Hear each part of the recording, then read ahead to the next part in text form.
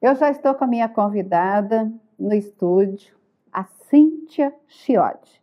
Ela é psicóloga, ela já passou aqui pelo programa duas vezes e sempre tratando de assuntos importantes. Hoje não é diferente.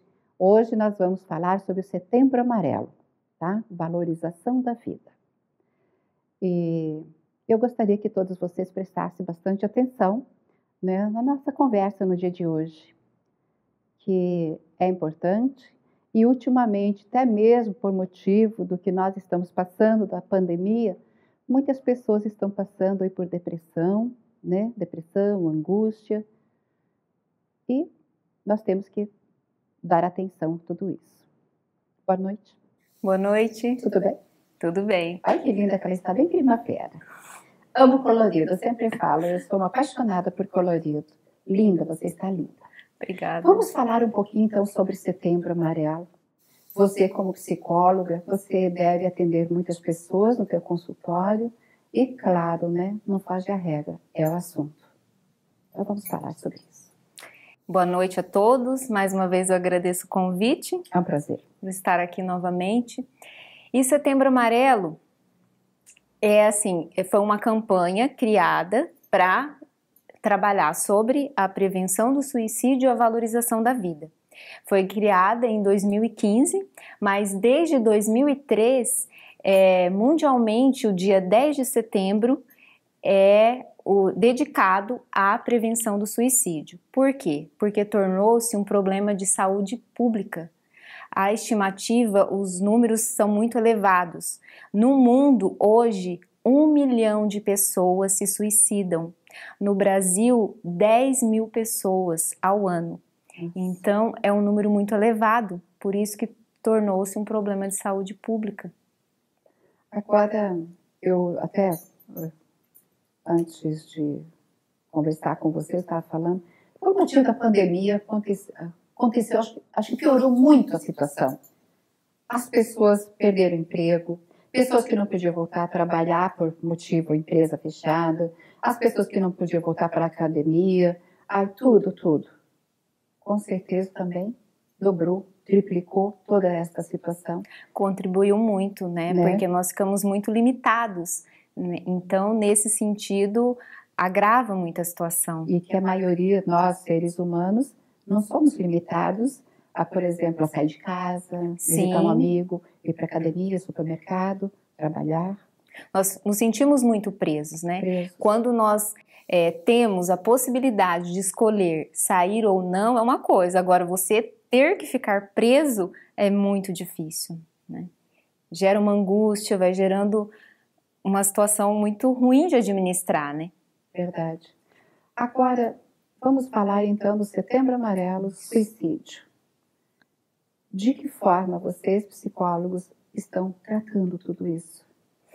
Então, Tamires, assim, a questão do suicídio é uma questão, é, é um tabu muito grande. Né? As pessoas têm muita dificuldade de falar dos pensamentos suicidas, né? porque o, o, ato suicida ele, ele é composto do quê?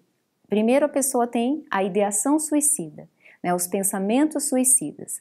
Depois ela vai fazer o quê? Ela vai traçar um plano de como ela vai executar isso. Depois ela faz a tentativa e muitas vezes ela acaba cometendo suicídio. Muitos param na tentativa porque a tentativa é frustrada. Até anteriormente, como nós já comentamos, as mulheres fazem muito mais tentativas que os homens, só que os homens eles são mais eficazes. Então eles assim. Quando eles resolvem fazer, eles fazem mesmo. Isso, é bem isso. Quando eles resolvem fazer, eles fazem. Por quê? Porque eles usam da, de maneiras mais drásticas, como enforcamento. E as mulheres, que já aconteceu casos de pacientes minhas, tentam muito através da medicação, da automedicação. Hum. Então aí passa por todo aquele processo de lavagem e tal e, e conseguem né, sobreviver. E assim, hoje em dia, o que, que a gente vê muito no consultório? As doenças mentais. Porque assim, quando acontecem os atos suicidas, vai, vai analisar o porquê da pessoa ter cometido. E assim, geralmente está ligado às doenças mentais. que são o quê? A depressão, o transtorno bipolar, a esquizofrenia, abuso de álcool e drogas, síndrome do pânico, tudo. síndrome do pânico, tudo. Então, assim, geralmente o suicida ele está relacionado às doenças mentais. E as doenças mentais, quando não tratadas adequadamente, acabam muitas vezes levando ao suicídio. É o que a gente vê muito no consultório. E daí o sentimento de desespero, de desesperança, de não ver saída para os problemas, né? Então, tu, é tudo isso. Envolve a questão do suicídio. Agora também tem aquele negócio, né? Eu chego para você, eu falo, né? Assim, ah, tá assim, assim. É, Deus o livre, nunca, nunca isso passou para minha cabeça. Nem gosto de parar para pensar. É chegar pra, reclamar, reclamar. Eu vou fazer uma reclamação. Puxa vida, está desse jeito. Ai, dá vontade de se matar, até tanto isso. E as pessoas, elas vão falando, elas vão falando. Isso, isso vai se tornando grandioso. Na Aí cabeça. fica martelando aquilo, né? é coisa, coisa ruim mesmo, né? Muita gente assim, que quando não dá certo, que Deus agiu. É que o cérebro vai registrando, né? Tudo que a gente Exatamente. fala. E daí eu falo, tá uma porcaria, tá uma. Né? Repete, é. igual reclamar Sim. é clamar. A minha vida tá uma porcaria, Isso. não sei para que, que eu tô no mundo, não sei para que, que eu vim pro mundo. E assim vai. E essas reclamações vai, vai ficando no subconsciente, no consciente, subconsciente e vai chegar um momento que não dá mais. Até uma questão bastante importante da gente falar é pessoas próximas, amigos, quando vem um amigo, alguém da família, falar muito, ah, eu não presto para nada, essa vida não tem sentido, eu preferi estar morto. E aí você tem que agir ao contrário. Isso, tem que sempre estar tá prestando um apoio, estar tá mais perto, se aproximando, por quê? Porque são sinais de que a pessoa poderá tentaram suicídio. Chegaram finalmente. Isso. Então, assim, outra coisa importante de se analisar os sinais, por exemplo, o isolamento, se é uma pessoa que se isola repentinamente, se ela é irritabilidade frequente, mudança de humor. Então, tudo isso, ah, deixar de fazer coisas que anteriormente fazia e que tinha prazer. Então, são todos sinais que precisamos estar atentos diante de pessoas quando elas é, mudam o comportamento, né, para esses tipos de comportamento. Então já é um sinal de alerta que precisamos estar tá focando aí. Então, eu já, já acompanhei casos assim de, é, de você estar na casa de alguém e lá vem a pessoa, você, ai, lá vem de novo, só reclama da vida. Puxa vida, eu acho que eu acho que você tem que dar atenção para essa pessoa conversar com ela sempre. Se ela vier duas, três vezes no dia na sua casa, você está em casa, conversar. Isso. Porque muita gente fala assim, ah, vamos ficar ligados, né? Se tem algum amigo que vamos fazer isso, vamos dar atenção. Só que muita gente também fala e não faz nada, né? Sim, sim. É o fogo de palha. Então, é, um, é uma coisa importante é deixar a pessoa falar. Porque às vezes Seja ela... um bom ouvinte. Porque às vezes ela só quer falar. Exatamente. Ela só quer falar. Ela quer desabafar. Ela quer desabafar, porque às vezes ela não tem com quem desabafar. Então é muito importante dar esse, essa, fazer essa escuta da pessoa, porque é, a gente recrimina muito isso, né? Ai, só fica reclamando. Mas por que será que ela reclama? Né? É chato para quem ouve, é chato. Não é uma coisa gostosa, não, né? Não é, mas só que, que prestar atenção. Prestar atenção prestar atenção, porque às vezes ela só quer. Porque muitos podem frequentar, né? A psicóloga, é, uma, duas, três vezes por semana, não sei quanto, uma pessoa vai duas, três vezes por semana. Geralmente uma vez na semana, uma vez. dependendo do caso, se for um caso mais grave, até duas, três então, vezes. Se tem uma psicóloga, se a pessoa tem uma psicóloga, pode né, pagar uma psicóloga, é, daí tudo bem, essa pessoa ela vai levando a vida. Ela vai levando de um jeito ou do outro, porque a psicóloga está ali para ajudar, né? E, e quando não tem a psicóloga e não tem ninguém em casa também que possa ouvir, é, tudo que ela tem para falar é as suas tristezas, é porque eu não consigo nada, porque o meu irmão, o fulano, ele é mais inteligente do que nada eu. Nada dá certo na minha vida. Nada dá certo na minha vida, na vida dele tudo dá certo, e ele é o melhor de casa, você só gosta dele. Isso eu já ouvi muito. tem dois filhos. Não sei, você gosta só do fulano. De mim você não gosta.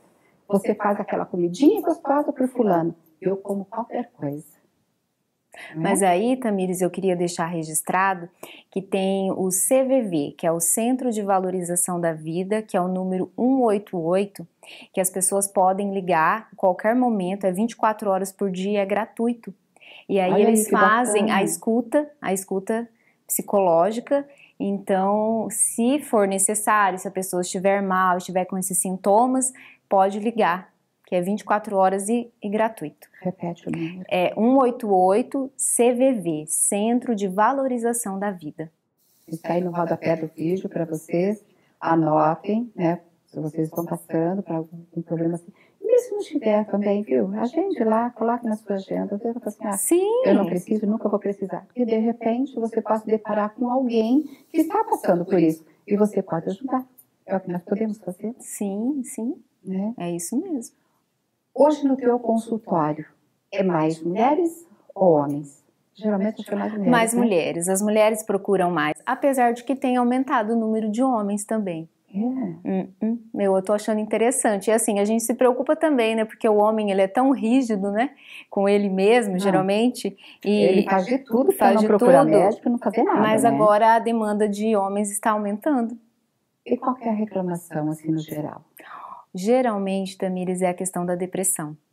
É muito grande. Síndrome do pânico, depressão, é, é o que mais acontece. São as doenças, os sintomas, assim, as doenças que mais chegam pra gente. Porque eu vejo assim, vamos imaginar, né, um pai de família, estava trabalhando, ganhando seu dinheiro, sustento da família, esposa, três filhos, a esposa não estava trabalhando fora, com tudo o que aconteceu. Isso, a pandemia começou no mês de março. E essa pessoa né, está desempregada até hoje. Então, essa pessoa que está desempregada até hoje, ela pode entrar em parafuso. As contas chegando, chega a conta todo mês, comida na mesa tem que ter todos os dias, você não tem dinheiro para comprar comida e pôr na mesa para os seus filhos, né? Porque se é só os adultos, se viram. Mas quando tem criança, é difícil. A criança fica pedindo comida o tempo todo, estou com fome. Crianças que vão dormir com fome, que não tem de onde tirar a comida. Muitos vão pedir. Sim. É o jeito. Não tem outro jeito. Então, principalmente o homem, né? Mas tem, tem muitas mulheres que são o homem da casa também.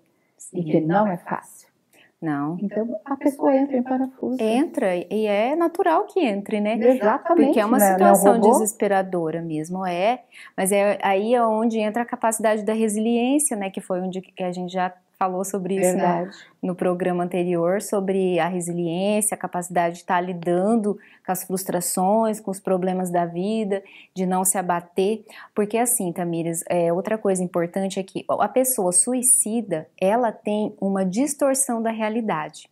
Então, ela vê assim qualquer problema para ela, ela não vê outra possibilidade senão a morte. Então, assim, quando a pessoa é saudável, vamos dizer assim, quando ela não tem esse, essa distorção da realidade, ela consegue pensar em maneiras de estar tá mudando essa realidade.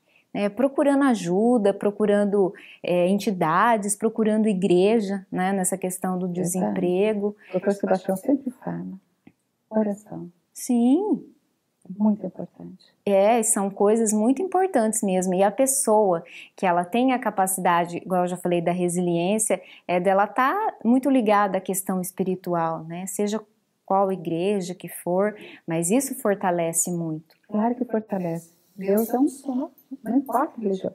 E também, se você não vai na igreja, você sabe que existe um Deus. Que nós temos um Deus. Sim. Conversa com Ele. Eu adoro conversar com Deus.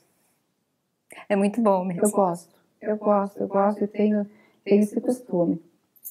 Tanto na hora de dormir e ao acordar também. Agradecer, né, por você ter acordado mais uma vez, por ele ter cuidado do seu sono, uma noite tranquila. E a mesma coisa à noite agradecer pelo dia. Com certeza. Né? Que nós temos que ser gratos Exatamente, né, por tudo que que nós estamos aqui é por obra de Deus. Né? Ele está dando essa oportunidade de nós estarmos aqui falando e levando essa mensagem para vocês de casa. Isso que é gostoso. Eu vou te deixar bem à vontade para você deixar um recadinho aí para o pessoal de casa. Eu queria dizer assim, que nós, mesmo diante de todas as dificuldades que nós estamos enfrentando, que nós somos capazes de dar a volta por cima, que a vida vale muito, muito a pena, que nós não podemos desistir de viver. Que a vida é um presente de Deus que Deus nos deu e vamos fazer de tudo para mantê-la. E se precisar de ajuda, não tenham vergonha de procurar ajuda. Procure a ajuda de um amigo, pode procurar a ajuda do CVV, como eu disse, mas sempre tem uma saída, sempre. É isso que nós temos que acreditar. É que. Jesus abençoe. Amém. E obrigada por ter vindo mais uma vez. Tá? Eu vou para o comercial e eu volto já já com vocês.